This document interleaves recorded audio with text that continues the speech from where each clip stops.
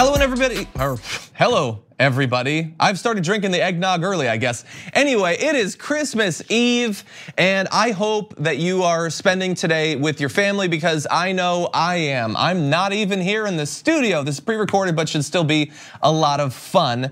And um, while you're off, you know, getting well-deserved rest, spending time with your friends and your family, getting presents and all that. Um, we wanted to talk about some stories that we didn't necessarily have time to fit into the normal crush of news in a regular week. And so we've got a lot of stuff we're gonna be covering uh, through the course of this show from you know, long-term changes and people putting off healthcare, um, you know, how the media is covering Donald Trump, apparent, some improvement, apparently. We're gonna have a little bit of good news for you. Um, but what I thought would be important and, and, good to do on theme for the show would be to start off with a little overview of some of the environmental news uh, that I've been noticing uh, recently. So while we're gonna cover a lot of different topics, we're gonna be starting off in true damage report fashion with an overview of some of what's going on with our environment. We talked less than two years ago now about Donald Trump imposing new tariffs on solar cells. And we hypothesized at that time, both here in studio and uh, trade groups that were trying to push for uh, solar energy, that that would be bad overall for the development of solar energy for jobs in the solar industry? Well, fast forward to today and we have some actual hard numbers. So let's take a look. Now bear in mind that this started off, uh, this is a four year tariff program early 2018, starting at 30% and dropping by five percentage points each year. So getting less crushing each year, but starting off a 30% tariff, that is insane. And that's why we expected that it would be so bad. Well, Here's how it's looking. More than 62,000 jobs and nearly $19 billion in new private sector investment has been lost due to the tariffs Trump placed on solar imports. This is according to the SEIA. The number of jobs lost is nearly double the toll first estimated when Trump announced the tariffs. Now you would think that when the monthly jobs report comes out, and uh, politicians, whether it's a Democratic president or Republican president, if the numbers are good, they love to tout it.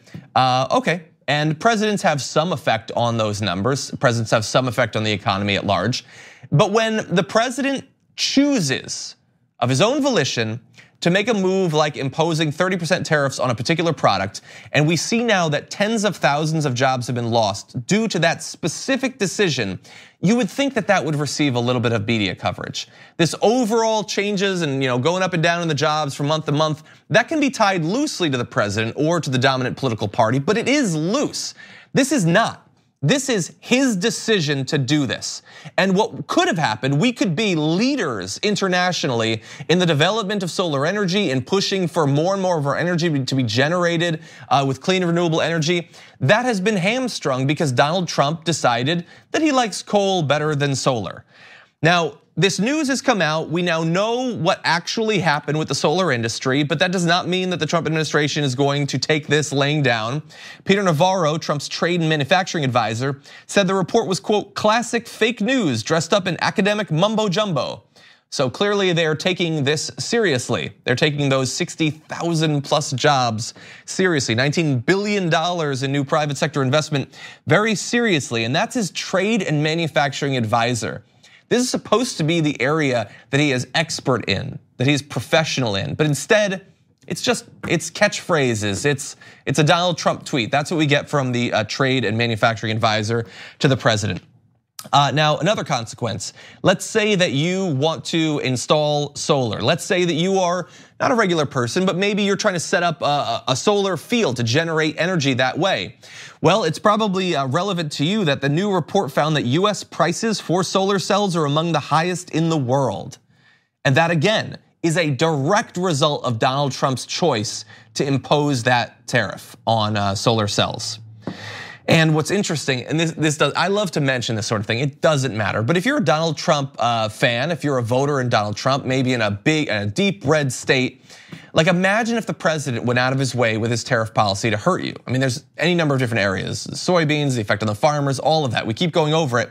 This is another one where we see that with the tariffs having the greatest impact on newer solar markets in Alabama, the Dakotas, and Kansas. Because they make solar uncompetitive with uh, dirtier, uh, more traditional forms of energy generation. So if you are a Trump voter living in one of those states, not only are you theoretically having to pay more for your energy, but also because that energy is gonna be generated through things like coal and natural gas, all of that, you're likely to get sicker too as a result of that energy production. You could have had cheaper, cleaner energy but the president wasn't interested in what you wanted. He was interested in what the coal CEOs wanted, what oil CEOs wanted. They're doing okay. All of this bad information, all this uh, lost private sector investment, lost jobs, that's our loss, but that is very much their gain. Okay, so from solar, let's turn now to one of the consequences of climate change, and that is, uh, once again, we're touching base with uh, ice loss specifically in Greenland. The Greenland ice sheet's losses have accelerated so fast since the 1990s, it's now shedding more than seven times as much ice each year, according to 89 scientists who use satellites to study uh, the Greenland uh, ice sheet loss. The sheet's losses have doubled each decade. And so this is again one of those areas where when you can go on Fox News and they're saying like, "Oh, climate change, it's cold in New York today." Uh, no, not only were the predictions right, not only were the estimates uh, not incorrect, but in that where they were wrong, they were underestimating how fast climate change would wreak havoc with uh, areas like Greenland, Antarctica, uh, and all of that. Now, this is significant. I'm gonna throw a couple of numbers your way and take a look at this. Around the planet, a one centimeter sea level rise brings about 6 million people into seasonal annual floods. So that's one centimeter of sea level rise globally, which seems really minor, right? I mean, you can barely even see it. Six million people for one centimeter. Greenland alone could contribute about 16 centimeters, or around half a foot to ocean levels, just until by the end of this century. So you're talking about tens of millions of people having uh, their homes, agriculture, all of that being flooded on an annual basis just from the effect in Greenland. And theoretically, when you look at uh, smaller glacier, glaciers around the world, when you look at the effect on Antarctica, which is even worse, we could see up to 20 feet of sea level rise over a millennium, with uh, a lot of that being stacked in the near future. I mean, you're not talking about tens of millions, you're talking about hundreds of millions or billions of people, hypothetically, that could find their areas uh, unlivable in the near future thanks to out of control climate change that so few countries are actually taking seriously. But while we're talking about the ocean, the ice isn't the only issue that we should care about. Let's also talk about the oxygen content in the oceans. The International Union for Conservation of Nature released the largest report of its kind, finding that the oxygen level of the ocean has declined by about 2% since the 1950s, and the volume of water completely depleted of oxygen has quadrupled since the 1960s. So this is again, and almost always, when we're talking about climate change, some of these numbers might seem small, but they can be devastating. One centimeter of sea level rise is a really big deal for millions of people. 2% drop in oxygen, really big deal if you are uh, you know, marine life that is trying to live in these areas.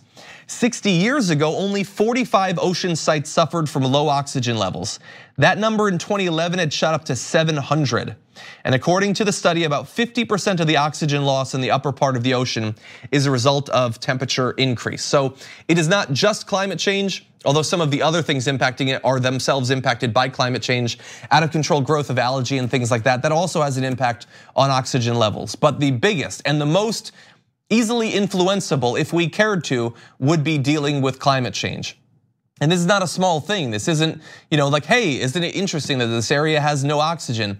A very large percentage of the Earth's population relies on fish for their protein intake on a daily basis. And in addition to the overfishing that we've already talked about, this is how you imperil food supplies for hundreds of millions or billions of people. This sort of process uncontained, proceeding at a time when not enough countries are taking seriously the plight of overfishing, that is a serious problem. And it's proceeding at the same time that climate change is making some areas inland uh, unable to be exploited in terms of agriculture. And so all of these processes are pushing us to a world that cannot sustain its growing population when it comes to the need to feed them on a daily basis.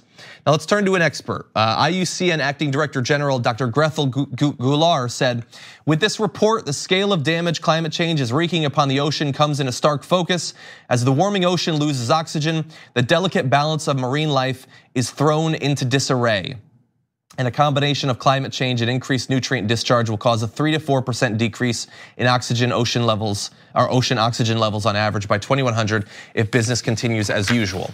Now, I understand if you've made it this far into the video that focusing on the level of oxygen in the ocean is going to seem uh, very esoteric.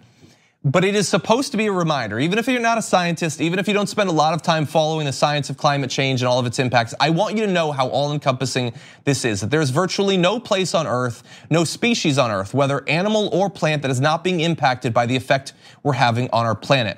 And that is why, when it comes to ice levels, when it comes to oxygen in the ocean, when it comes to the way we generate our energy, these are all interrelated issues. And so the way that we address them too needs to be interrelated and also prioritized.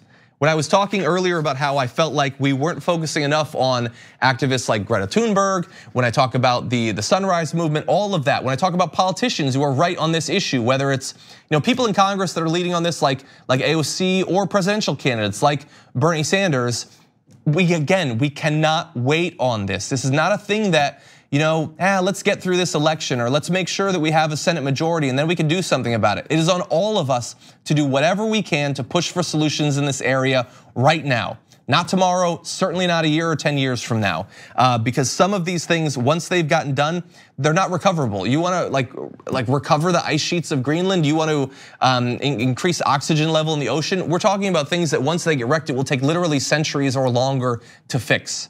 And we can't wait. Okay, we've got a lot more planned throughout this show. We're gonna be talking about some really big picture uh, uh, policy areas that we haven't uh, focused enough on recently. So stick around, we got a lot planned for you.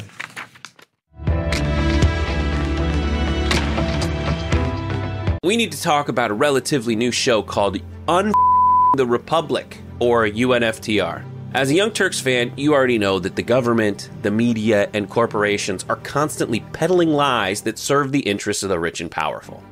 But now there's a podcast dedicated to unraveling those lies, debunking the conventional wisdom. In each episode of On the Republic, or UNFTR, the host delves into a different historical episode or topic that's generally misunderstood or purposely obfuscated by the so called powers that be, featuring in depth research, razor sharp commentary, and just the right amount of vulgarity the UNFTR podcast takes a sledgehammer to what you thought you knew about some of the nation's most sacred historical cows.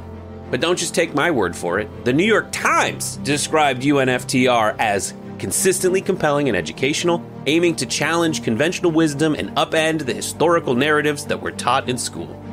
For as the great philosopher Yoda once put it, you must unlearn what you have learned. And that's true whether you're in Jedi training or you're uprooting and exposing all the propaganda and disinformation you've been fed over the course of your lifetime. So search for UNFTR in your podcast app today and get ready to get informed, angered, and entertained all at the same time.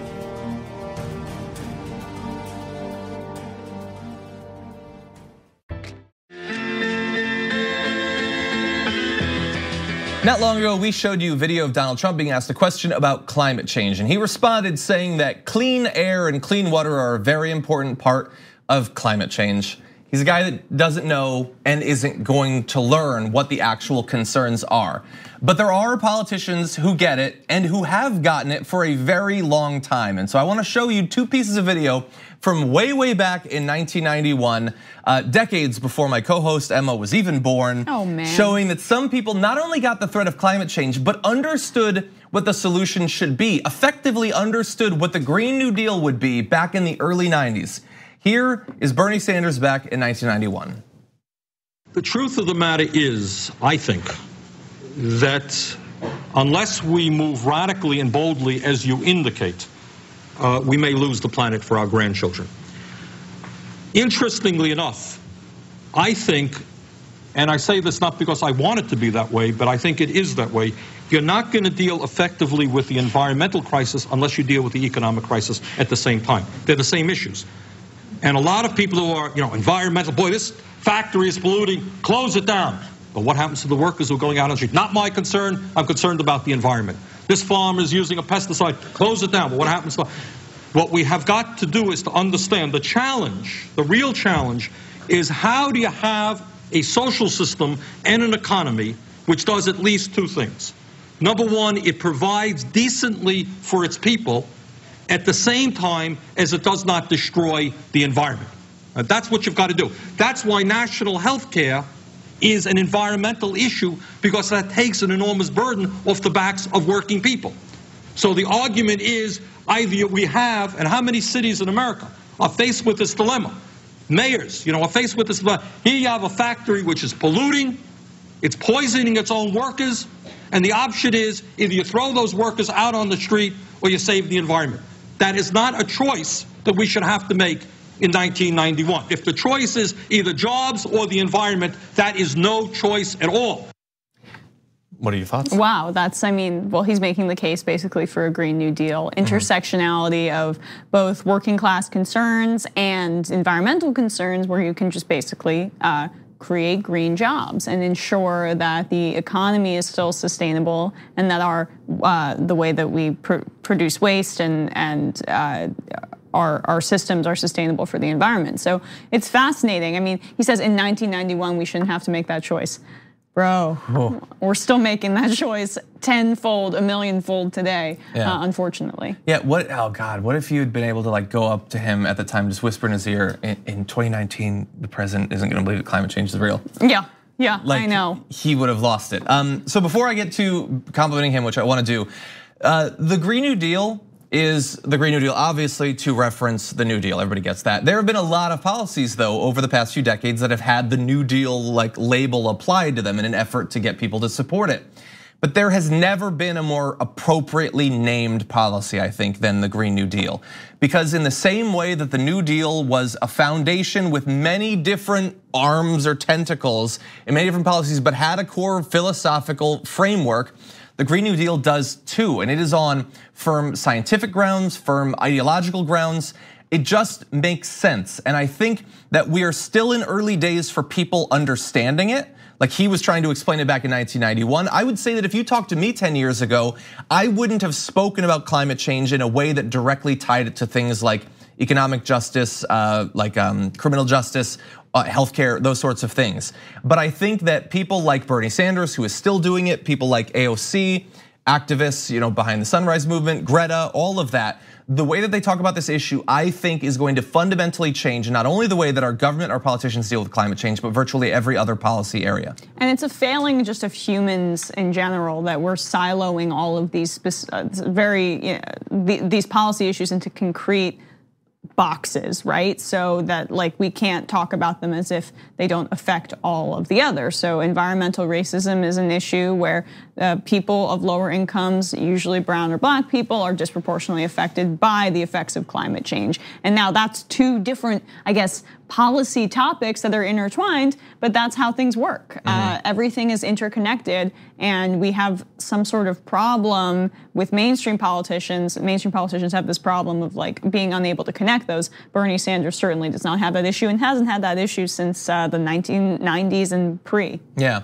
So, by the way, I, I went and I, I wanted to find some other examples of Bernie Sanders from early on, and I came across this C-SPAN video from 1991 of it was the uh, sorry the annual congressional dinner but it seemed very roasty the section that i read. Bernie sanders was up on like the the podium side or whatever and there was someone who spoke about him and they seemed I mean, he was pretty new at that point. They seemed very dismissive of Bernie Sanders. That would be consistent for decades. Yes. um, but anyway, he got up, and the you should understand the person who spoke before him made a joke about whether he would give up his parking spot or something. I don't understand. I was like a little kid at that point. I don't know what that was referenced to, but he gets up. He is not being brought up to talk about climate change or anything like that. So just bear that in mind as you watch this video again from 1991.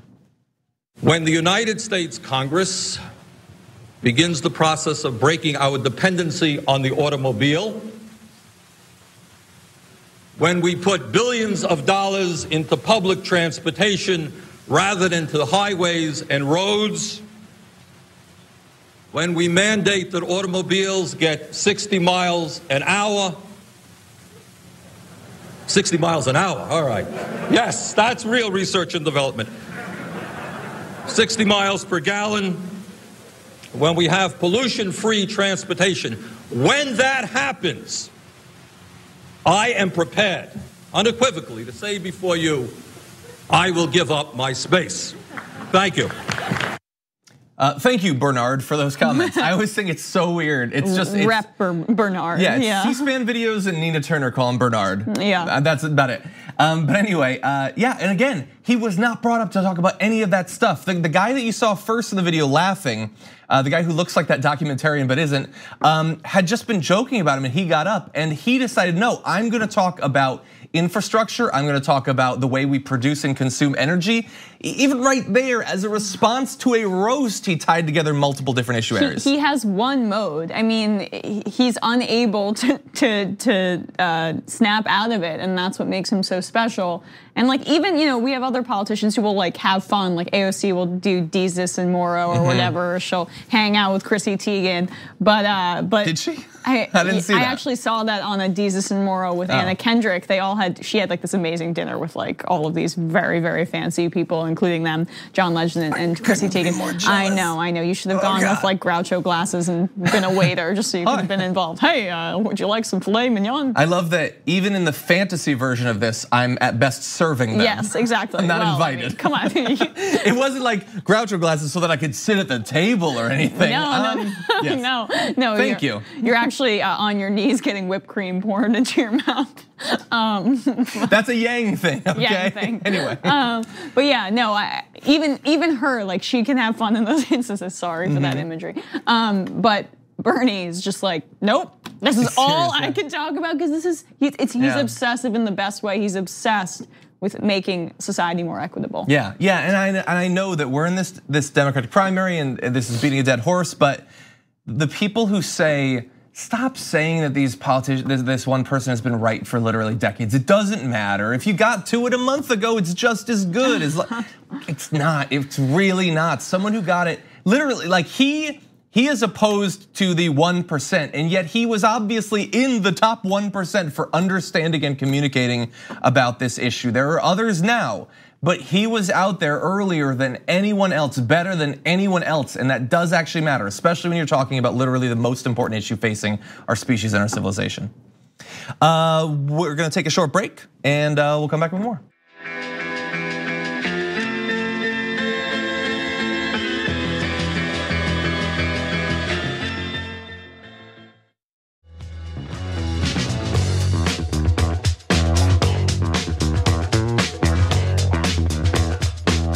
Going into 2020, what do the voters actually care about? Whether it's Democrats or Republicans, you have things like impeachment, and then you have a whole bunch of potential policies and issue areas.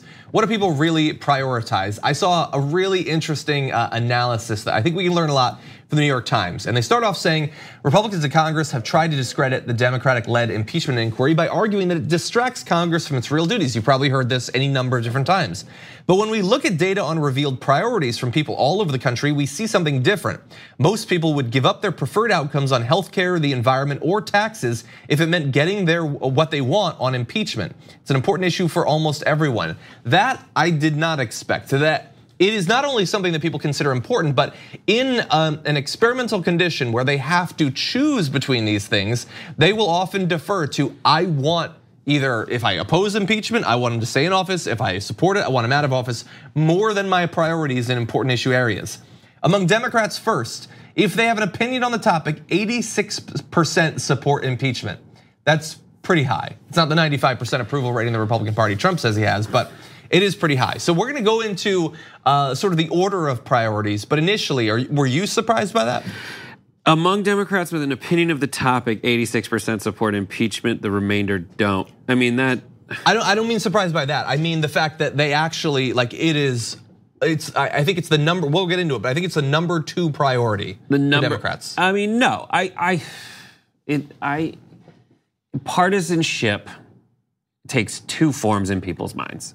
One, they think things should be bipartisan. Mm-hmm. In order to get, they like uh, the Nadler back in the day said, you know, I don't, I think bipartisan, sh- uh, or I think impeachment should proceed if it's bipartisan. That assumes that partisanship uh, dissolves once one side has made a clear case and the other side sees, sees that as having merit. Mm-hmm. But that doesn't happen anymore. Mm-hmm.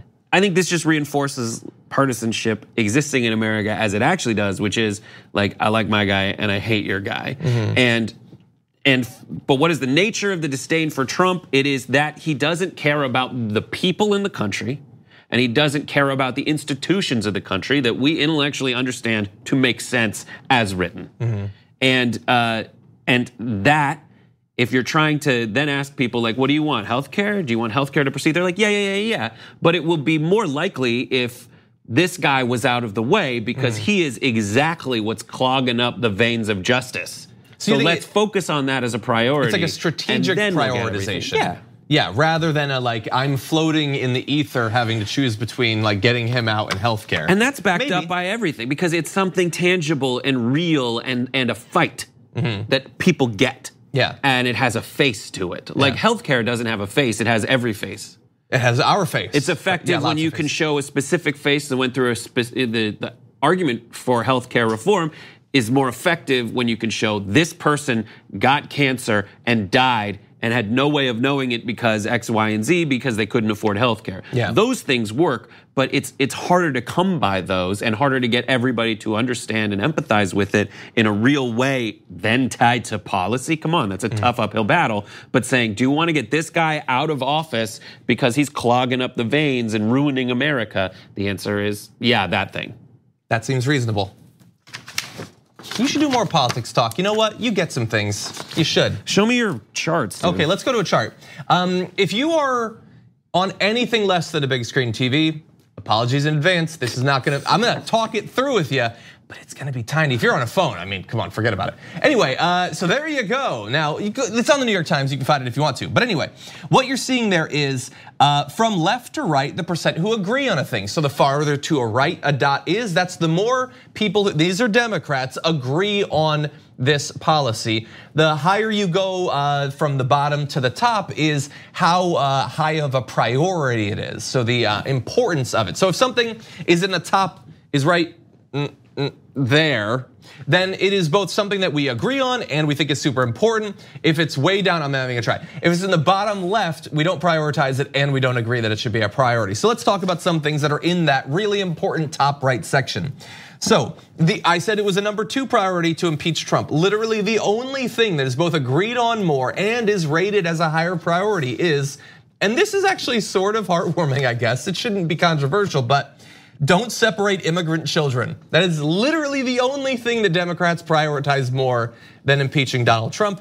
And I'm gonna say because of Trump, actually. He seems to be a pretty important part of it. But anyway, that's right up there. Now, very close to it, you have things like no ban on abortion, don't build a wall, dreamer path to citizenship, no ban on Muslim immigrants, no mass deportation. So that cluster is almost totally immigration related concerns that are reactive to the policies of Donald Trump. Mm-hmm. Uh, yes. I'm glad that they're prioritizing those sorts of things. They're also very like that's what's so frustrating is so, they're very obvious.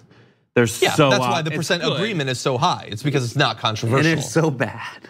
What's that? Like all these things yeah. are so bad. Like it's an issue that we like when people come across the border. We had made a decision that we would separate a family. Mm-hmm. We don't even separate families on the sign saying that people are crossing here.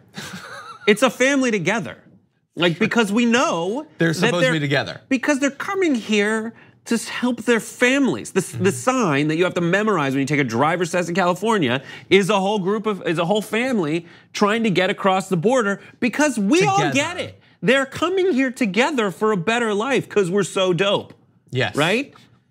or whatever you want to believe, sticker. right? Yes. But like we're separating them. Yeah. And every Democrat understands that that is important and we agree. Mm-hmm.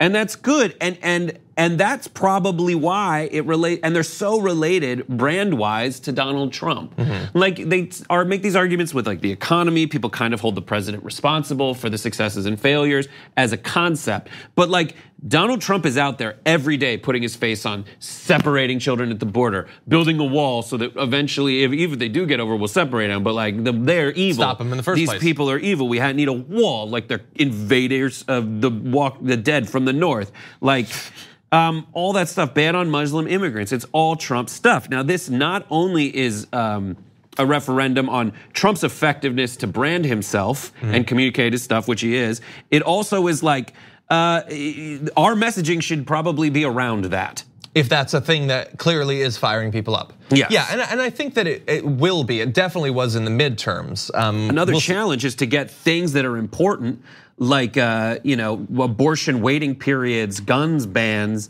um, reducing the size of the military, and oil and gas drilling, to get them to be as easy to understand as don't separate immigrant children because Yeah. they are important. People just don't agree that they're important. Yeah.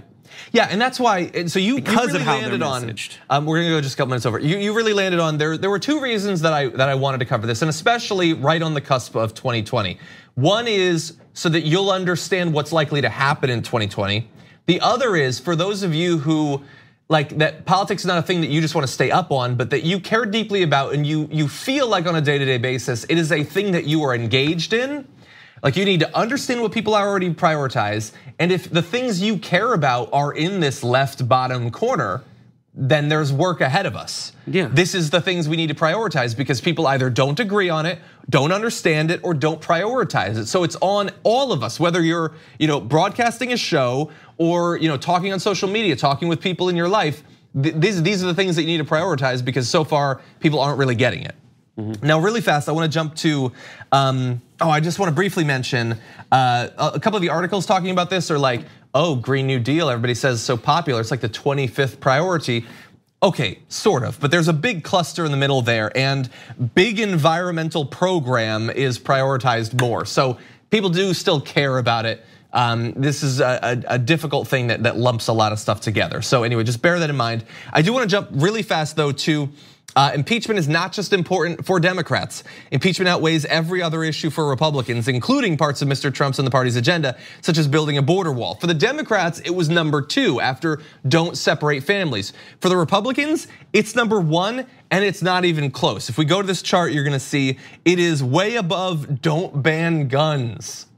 So hypothetically, they you you believe that you have to take the gun from their cold dead hands. They'll give it to you, but don't take Trump from their alive hands, I guess. Yep. Yeah, so they really care about it too. And um, you know, the, the thing is, calmer than you are, dude. Approach calmer than you are. You guys seem to be really like the Mm-hmm. Worked up. reason that you're so worked up about don't impeach Trump is because you know that there's something wrong with him. You Yeah. know that there's something wrong with him, and you and know and and so do the people defending him on all these impeachment hearings because they never deny that there's something wrong with him. They're just denying. They're like yelling at the refs that they aren't calling all the fouls. yeah, it's procedural or it's diversionary. Yeah. Um, but we can learn a little bit from some of the other uh, spots here too. Uh, what's interesting is uh, uh, up there in like third, the second, third, and fourth place. Um, don't ban guns, build a wall, and don't give reparations for slavery. which is like even low on the like Democrat. Like it was what like twenty percent of Mm-hmm. Yeah. Democrats found it Yeah, important. and the thing is, like, I, I get that we've gone over this and it's pointless because I'm not going to convince anybody. But if, but if you believe that the support for Trump, it's just it's economic anxiety. Doesn't look like it. It looks like it's racial concerns, immigration concerns, gun concerns, and they're still thinking a lot about slavery and how much they don't want any sort of uh, justice for uh, that dark legacy.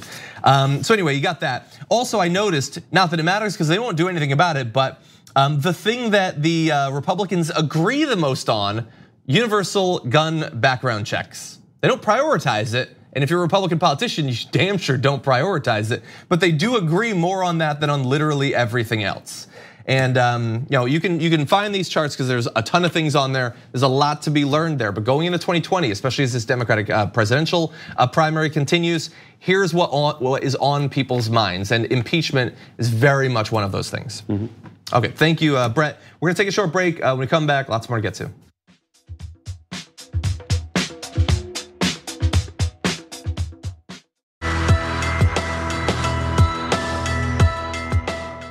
The media has been incredibly slow to learn, glacial really, how they should proceed in the Trump years. How is he using them, getting free coverage, and using them to amplify misinformation?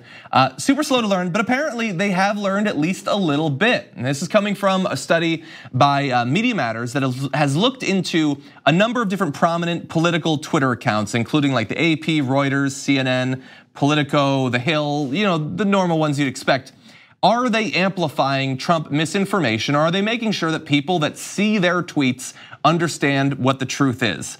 Uh, they looked at over 2,000 tweets, 32 different Twitter feeds, and this is what they learned. So 50% of the time, the outlet's Twitter accounts disputed misinformation.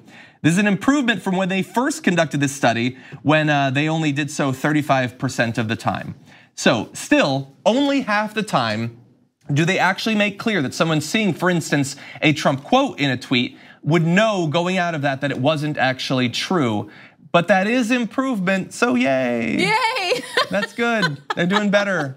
Yay. Um, so that's good. Uh, That's on average, for something that's supposed to be like fact based, it's great. Exactly. Yeah, yay. If you run a media outlet, I think your greatest fear should be like there's a couple different fears you should have. One is totally missing stories that are super important. Okay. And the other is that people leave your coverage knowing less than they did going in or believing less true things than they did going in. So let's give you some more information. On average, outlets amplified false or misleading claims without disputing them 15 times a day. a decline, ah, wow, a decline of 21% from our first study when they promoted Trump misinformation on average of uh, 19 times per day. So here's what's really interesting. So uh, normally I produce these stories. This was produced uh, by our producer Angel, and um, so I was going to anecdotally state what they apparently have factually. So the Hill's Twitter account produced the most passive misinformation of any feed we reviewed, accounting for nearly half of the total tweets that pushed Trump misinformation without disputing it, up from 43% of the total in the first study. So getting worse. Now look, the Hill has some great elements to it. Like, And, would you write for this? And I think I was talking about like video, but also thank you for publishing my editorials. But their Twitter account them. is nightmare fuel. Literally every day I see tweets that are just a quote from Trump. It's a lie. And it's just the quote from Trump. Right. And you can click on the article, and maybe somewhere in the article it's corrected. But if you're just absorbing that on Twitter, you will believe the lie. Or you'll believe at least that the fact that the president said it makes it seem at least semi credible. The fact that a, a news outlet is repeating it makes it seem credible. And if they're not correcting it, especially in a time where more outlets are going out of their way to do it, then it seems like it didn't need to be corrected. And yet many of them still make this mistake. And I think that at least on Twitter, the Hill might actually be the worst. So it's kind of like how often uh, media being also a business comes like Mm-hmm. be, the business aspect of it becomes more powerful than the actual like gatekeepers of information part of it is and it's kind of you know how like the problem when it comes to like television is sometimes the desire to be first because of the attention that brings you becomes a huge failure And it may be getting stronger, that effect. this desire to be retweeted the most or um, have the most followers or gain more followers that becomes harmful Yeah. because everyone's kind of in this race to get more attention to go viral and then they do stuff like listen we know this is wrong we know this is absolutely absurd but it's people are gonna But we don't want to die. We don't want to be canceled. I know uh, Brooke had a tweet go super viral, and I have lost all my ethics in my Twitter. I'm just trying to catch up to her now, and I just I want that. No, No, no, I'm just kidding. No, you're literally right.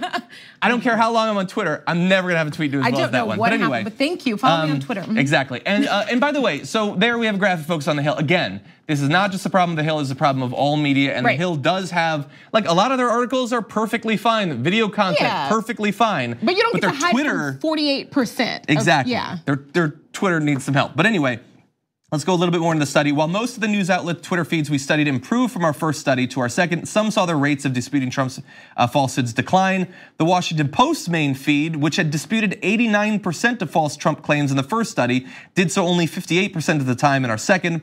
CNN also dropped from 75% down to 60. So uh, again, look, they did they looked at thousands of tweets, and so large enough numbers it should throw off natural variability. It is still possible that there there's some of that in this, but you're seeing large drops from some of the I would say most trusted news outlets. Like if the Washington, like people trust the Washington Post. Don't trust their op-eds, they're crazy. But for their news coverage, generally perfectly fine. If they're no longer seeing themselves as needing to provide that sort of fact-checking role, that's damaging. And it might contribute to an environment in which other less noteworthy or less well-funded outlets also feel like, well, I guess that's not a thing that we're all really doing. It's not financially incentivized by potential readers. exactly Yeah. So look, this is this is really concerning because we are clearly at this point not going to get Trump to stop lying. There's no amount of shaming or fact checking you can do that will actually modify his behavior. So there needs We to be a try, though. Firewall. We, we'll try. we'll still correct as much as we can. right. But that's what I'm saying. We can't stop him from lying necessarily, feel free, but we can provide a firewall between his misinformation and the public. And we, are not gonna stop it from getting everyone. Dude's got dozens of millions of Twitter followers, but for every person we can make sure does not leave a news cycle believing demonstrable um, untruths, that's a good thing. And that's, I think, an important part of the media going forward, whether you're as big as the Washington Post or as small as whoever.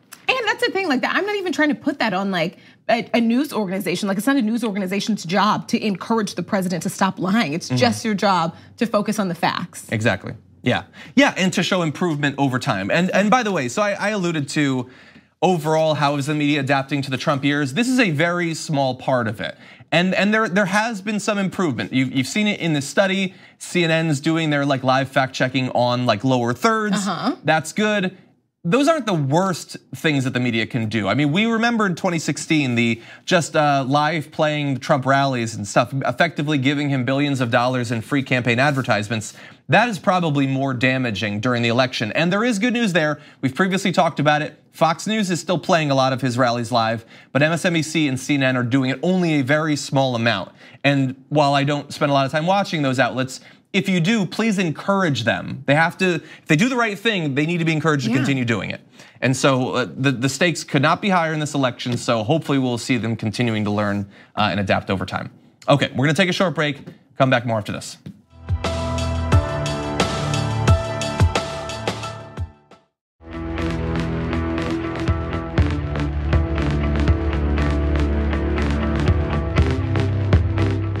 There are a few issues in the Democratic primary uh, being discussed uh, as in great length as uh, healthcare, and there are very different policies that different candidates are pushing forward. So, should we have a strong, real Medicare for all system, or should we largely sustain the Affordable Care Act? Maybe strengthen it in some ways, protect it from assaults from Republicans.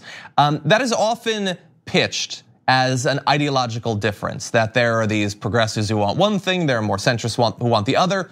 But I do want to remind everyone of what is actually at stake here, because the idea that if we were to just maintain the status quo, hey, how bad could that actually be? That may make sense for people who are incredibly wealthy, have access to all the healthcare they could ever want. But for regular people, the situation isn't necessarily just bad. In some ways, it's actually getting worse. So I wanna show you some uh, survey data that was released recently by Gallup about people who, because of the high cost of healthcare, are putting off seriously needed medical treatments. So take a look at this here. They tweeted out that 25% of Americans say that one of their family members have put off treatment for a serious medical condition due to cost in the last 12 months. And what you're seeing there is historic data stretching all the way back to 2001. And so right there you have 22% that's actually 25% for a serious condition. Fully one third of all respondents say someone in their family has put off some sort of medical treatment because they could not afford to do something about it. And that number has been steadily creeping up. It was about half the level it is now back in 2001. So that's after, that's like a decade after the ACA. And think about that. Think about someone being in a position where they have a serious medical need. It needs treatment but they can't do anything about it because they can't afford to actually go. For many people, that will mean that when they eventually do have something done about it, the cost will be more extreme, the debt will be more extreme because the condition will have been allowed to proceed. For some people, though, it will mean that they die. They die because they had an untreated illness and they died because it was too expensive. Another 8% said that they or a family member put off a treatment for a less serious condition. And so we're seeing across the board, many, many people are seeing this, which should be unheard of in literally the richest country that has ever existed. But anyway, let's talk about some of the other costs there and some of the other uh, things that are resulting from this. So when a person can't afford to go, when they have to put off this sort of treatment, um, do we think that they're necessarily going to find themselves in better economic condition uh, later on? Not necessarily. And there is a solution, but it's not one that we should be encouraging. According to the American Health Association, patient visits to emergency departments in community hospitals increased 19% over the last two decades and have likely climbed to 20% or higher uh, by today. So that means that in the end, it's going to be more costly. Again, their condition will have advanced to a more severe state at that point. And from an economic perspective, delayed care can have a range of negative effects, including reduced workplace productivity in the short term and increased healthcare costs in the long term, costs that ultimately burden the federal budget, which has ripple effects on the economy.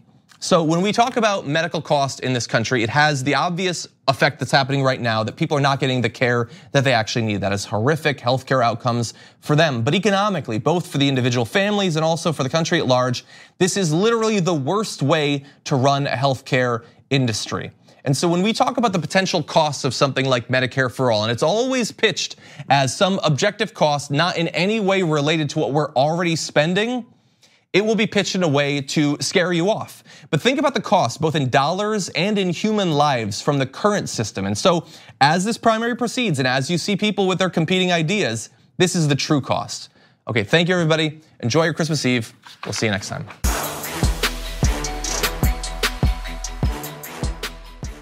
Thanks for listening to the full episode of The Damage Report. Support our work, listen ad free, access members only bonus content, and more by subscribing to Apple Podcasts at apple.co slash TYT. I'm your host, John Iadarola. I'll see you soon.